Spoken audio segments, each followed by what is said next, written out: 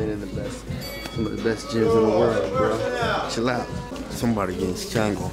I haven't seen someone so focused in my life, man. You know, I have 20 plus years of MMA, jiu-jitsu, martial art, over 30, but uh, there's nothing else we can say. You know, it's, it's meant to be. You know, look at look at back where he started, the way he is right now, the way he behaves. First thing he got it. Since the day one, he believed it.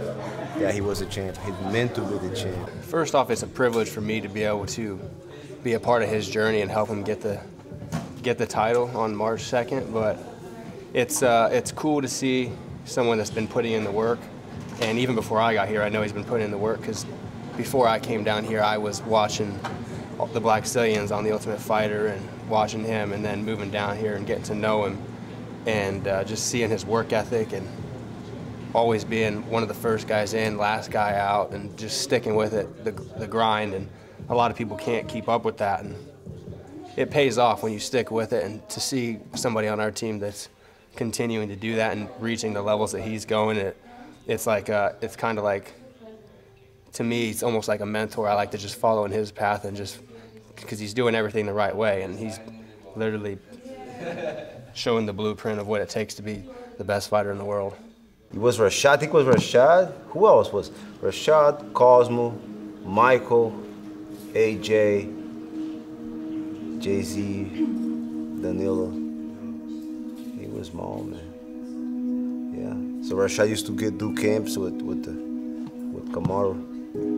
And one day brought him in whenever. I mean, it's crazy, man. It was other day, you know. So, so many years, but it, it feels like it was other day.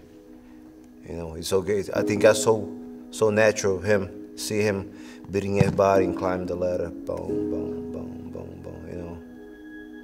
But I, I don't think anybody knows how hard he worked. You know, back then, like how much work he put it on in the gym off the train, is still there, bunch of the bags. If he put someone down, he he will make sure they don't get up unless he wants them to get up. You know. As far as a black belt, uh, like everybody says, when you start punching, the game changed a little bit, and I think even then, I think he still has more tools. You know, it's kind of a almost a new new generation. We're just replacing guys. That's how it how it looked like. You know, the better version. The only the only only thing they look like is they're black. That's all.